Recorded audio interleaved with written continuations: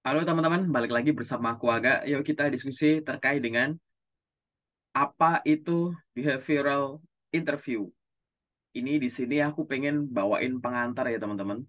Nantinya pada saat teman-teman menyimak video ini, harapanku teman-teman udah tahu gambaran apa itu behavioral interview dan jenis-jenis pertanyaannya kayak gimana itu di, biasanya digunakan untuk mengetahui apa dan nanti ke depan di dalam interview teman-teman akan menghadapi yang kayak gimana gitu. Nanti kalau misalkan teman-teman ada pertanyaan silahkan boleh tuliskan di kolom komentar atau kalau mau ngubungin aku langsung silahkan boleh DM di LinkedIn-ku gitu ya teman-teman. Nah di sini yuk kita diskusi. Sebelum mulai diskusi silahkan teman-teman kalau mau nyiapkan buku catatan dulu atau laptop atau lewat handphone juga boleh. Barangkali nanti ada poin-poin penting yang teman-teman ingin dalami atau tanyakan. Di sini ya teman-teman, aku pengen share. Jadi by definition berdasarkan dua sumber ini, dua website ini, yaitu behavioral interview itu adalah teknik wawancara untuk menggali informasi yang pernah dilakukan secara nyata. Kayak gitu. Itu dari samahita.co.id bilangnya kayak gitu.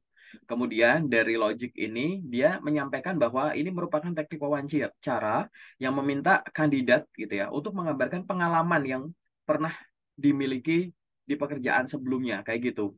Nah, aku pengen ngasih gambaran juga ya teman-teman ini pakai bahasa aku aja. Jadi behavioral interview itu memang bener kayak gini. Itu adalah pertanyaan atau rangkaian pertanyaan di mana dia akan menanyakan semua pengalaman di masa lalu teman-teman. Artinya apa? tidak hanya untuk orang yang sudah punya pengalaman kerja, kayak gitu. Tapi yang belum punya pengalaman kerja, mungkin banget akan ditanyain soal ini. Terkait apa? Apa pun itu, tapi berkaitan dengan pengalaman masa lalu dia. Pengalaman kerja, pengalaman magang, pengalaman organisasi, kepanitiaan, pelatihan, tugas-tugas tertentu, volunteer, perlombaan, kayak gitu. Itu mungkin banget untuk ditanyakan. Nah, behavioral interview ini itu merupakan bagian dalam rangkaian interview. Artinya gini, pertanyaan ini mungkin bisa ditanyakan oleh HR atau user. Sebagian memang akan muncul di interview atau wawancara HR. Nah, pertanyaan itu dia akan disisipkan dalam rangkaian interview. Artinya, enggak tiba-tiba teman-teman diundang interview, semua pertanyaan cuma behavioral. Enggak kayak gitu. Jadi, dalam rangkaian interview mulai dari awal, silahkan perkenalkan diri Anda sampai nanti mungkin yang paling terakhir ya. Ada pertanyaan terakhir apa, biasanya kayak ada pertanyaan lagi enggak, ibaratnya kayak gitu. Di tengah-tengah itu akan ada sisipan-sisipan pertanyaan yang merupakan jenis pertanyaan ini, gitu. Lalu kenapa pertanyaan-pertanyaan ini kok ditanyakan? Karena sebenarnya teman-teman di sini harus paham bahwa ada poin-poin pentingnya nih. Di sini ya teman-teman ya. Pertama, menceritakan. Artinya, teman-teman teknik berceritanya itu akan dinotis. Cara teman-teman menyampaikannya itu juga akan dinotis. Kemudian ada poin penting yaitu pengalaman sebelumnya. Jadi teman-teman nggak usah khawatir. Biasanya yang akan ditanya itu adalah terkait dengan pengalaman-pengalaman sebelumnya. Kalaupun ada pertanyaan yang ditanyakan terkait dengan gimana kalau Anda menghadapi kayak gini, itu nanti sudut pandangnya berdasarkan pengalaman masa lalu teman-teman. Kayak gitu. Oke, jadi tidak akan ditanyakan di luar kemampuan teman-teman lah ibaratnya gitu. Kemudian apalagi di sini ada poin pentingnya adalah pengumpulan informasi. Pengumpulan informasi artinya rekruter atau penanya, bisa HR, bisa rekruter gitu ya. Eh, maaf, bisa HR, bisa user. Dia akan menanyakan pertanyaan ini untuk mengumpulkan informasi terkait dengan teman-teman. Informasi apa? Terkait dengan perilaku dan tindakan di masa lalu pada saat diberikan tanggung jawab atau menghadapi situasi tertentu. Oke. Nanti hubungannya sama apa? Hubungannya sama kinerjanya di masa lalu. Apa yang sudah dihadapi, tantangan apa yang dihadapi, apa yang dia lakukan, gitu. Oke. Kemudian hasilnya kayak gimana, memberikan impact apa.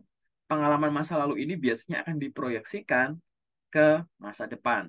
Kayak gitu. Karena perusahaan juga ada kebutuhan untuk mengetahui kita nggak bisa nebak-nebak ini orang kayak gimana karena jumlah orangnya juga banyak gitu kan tapi kita bisa tahu dengan performa orang di masa lalu dia akan kayak gimana karena orang itu kan cenderung akan tidak terlalu berubah drastis kayak gitu teman-teman jadi untuk karena namanya juga rangkaian pertanyaan kayak gitu ya teman-teman dari semua pertanyaan akan bisa kita kumpulkan informasi dan kita rangkai akhirnya teman-teman kayak gimana.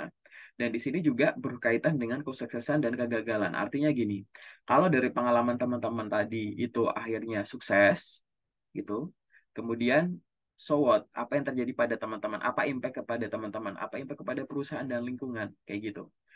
Atau mungkin apa impact kepada teman-teman yang berkaitan dengan skill baru, pengetahuan, pengalaman baru, kayak gitu, kayak gitu. Atau terkait dengan kegagalan. Gimana kalau misalkan nanti itu berkaitan dengan teman-teman gagal melakukan sesuatu. Pelajaran apa yang diambil, efek buruk apa yang diperoleh, dan lain-lain. Kayak gitu. Ini adalah poin-poin penting yang nantinya akan coba digali-gali kayak gitu.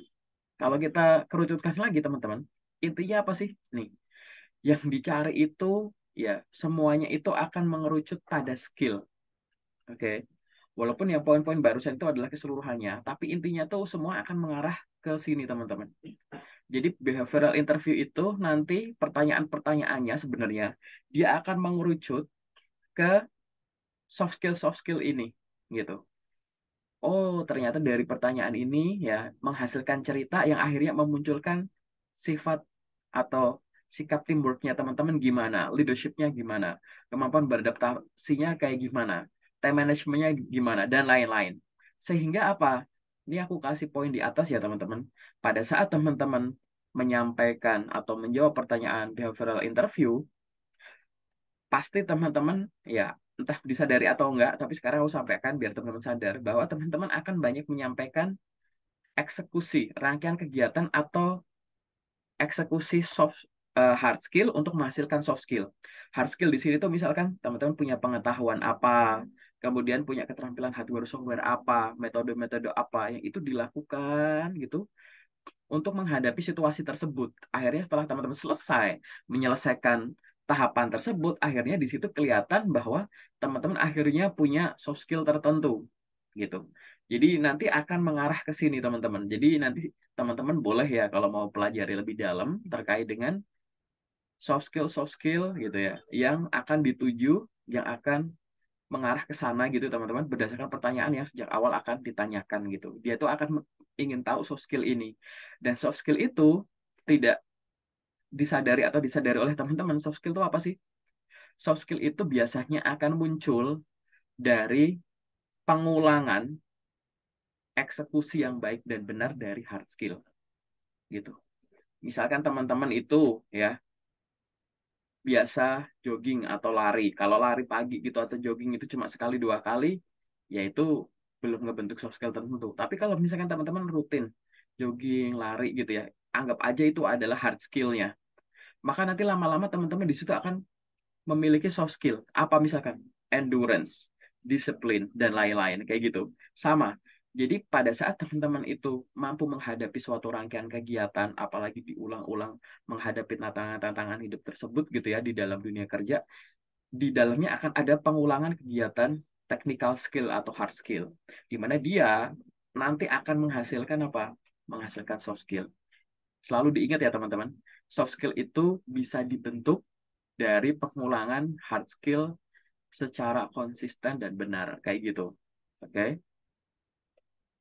Kemudian, nah, kalau misalkan ya teman-teman bertanya, terus gimana sih pertanyaan-pertanyaan yang biasanya ternyata itu behavioral interview kayak gitu.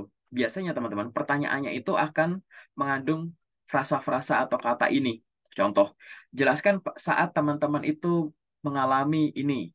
Jelaskan saat teman-teman harus mengambil keputusan yang berat di masa lalu. Gitu misalkan contoh ya.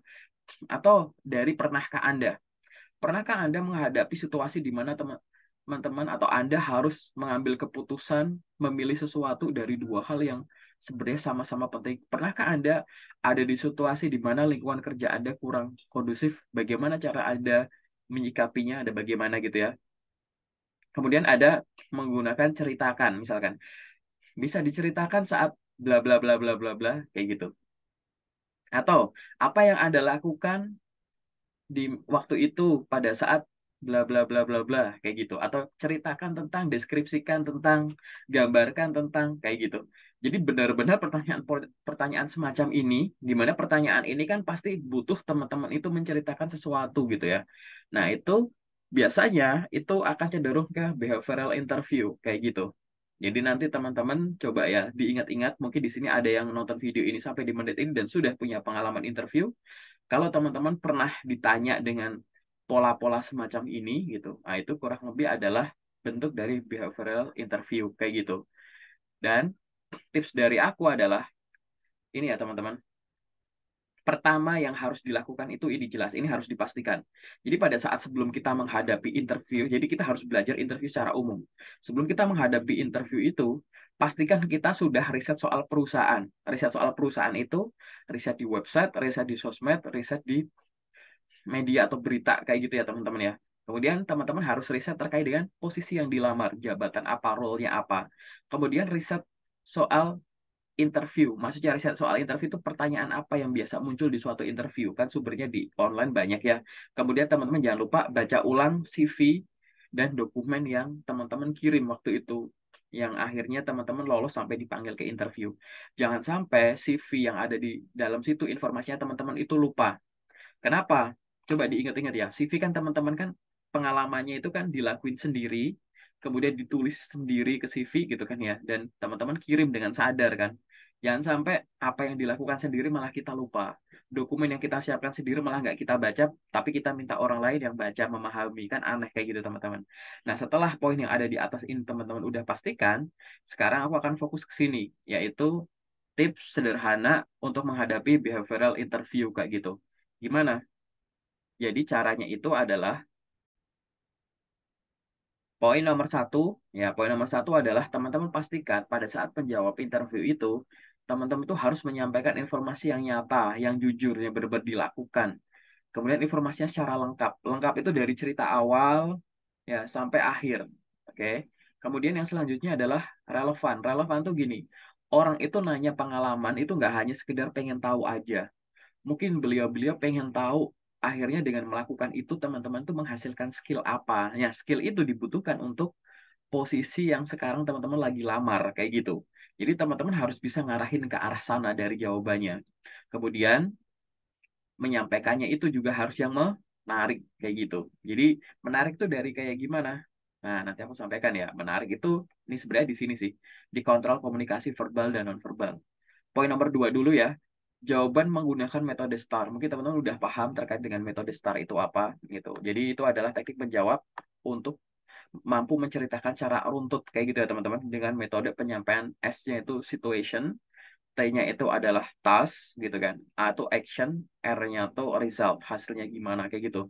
Nanti terkait metode STAR ini akan aku bahas sederhana di video selanjutnya setelah video ini kayak gitu teman-teman. Kemudian yang poin nomor tiga, itu adalah fokus dari awal sampai akhir. Jadi pada saat teman-teman tadi ya ditanya pertanyaan dengan ceritakan bagaimana, kemudian pernahkah Anda gitu, ceritakan pengalaman Anda gitu-gitu, pastikan teman-teman itu menceritakan tuh runtut ya teman-teman dari awal kronologis historis tapi runtut benar-benar dari ada apa, lalu bagaimana, dan hasilnya gimana, kayak gitu. Jangan ngambang kayak gitu, teman-teman.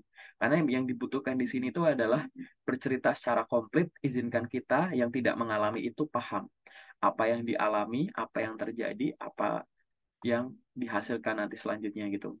Nah, di sini teman-teman juga harus jawaban itu fokus pada kontribusi diri. Jadi di dalam cerita itu, teman-teman jangan sampai banyak menceritakan terkait dengan situasi aja atau ngomongin secara grup aja. Di situ teman-teman harus ya menceritakan kontribusi teman-teman. Tidak hanya menggunakan kata waktu itu kita melakukan ini, waktu itu di departemen kami ada semacam ini, kemudian kami kami boleh menggunakan kata kami kami kayak gitu terus boleh banget. Tapi sesekali ya di dalamnya teman-teman pasti harus tahu. Harus ada yang teman-teman sampaikan dengan kata saya gitu. Gitu. Karena memang inti dari behavioral interview itu adalah mencari porsi sayanya. Kenapa? Karena teman-teman yang dinilai di sini. Gitu saat itu saya diberikan tanggung jawab untuk melakukan ini melakukan ini. Kemudian yang saya lakukan adalah saya melakukan ini ini ini ini ini. Saat saya mengalami semacam ini saya berdiskusi dengan atasan saya kemudian kita melakukan ini ini ini. Jadi kayak gitu teman-teman. Jangan lupa ya porsi kata saya itu selalu ada karena yang ingin dinilai itu di situ. Karena jangan sampai nanti akhirnya di situ teman-teman nggak kelihatan memberikan kontribusi. Jadi jangan-jangan kesuksesan melakukan ini tuh ternyata gara-gara orang lain. Nah, kayak gitu teman-teman.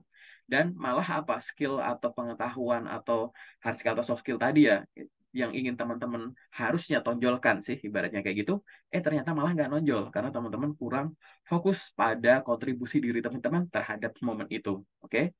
Kemudian dua poin ini ya teman-teman. Teman-teman silahkan pada saat menyampaikan perbanyak gunakan keyword atau kata kunci yang berupa kata kerja atau skill teknis. Kata kerja itu misalkan saya membentuk, saya membuat, saya berkoordinasi, saya melakukan, saya menganalisis, saya menulis, eh, pokoknya ada kata kerja me, me, me, me, me, apa kayak gitu.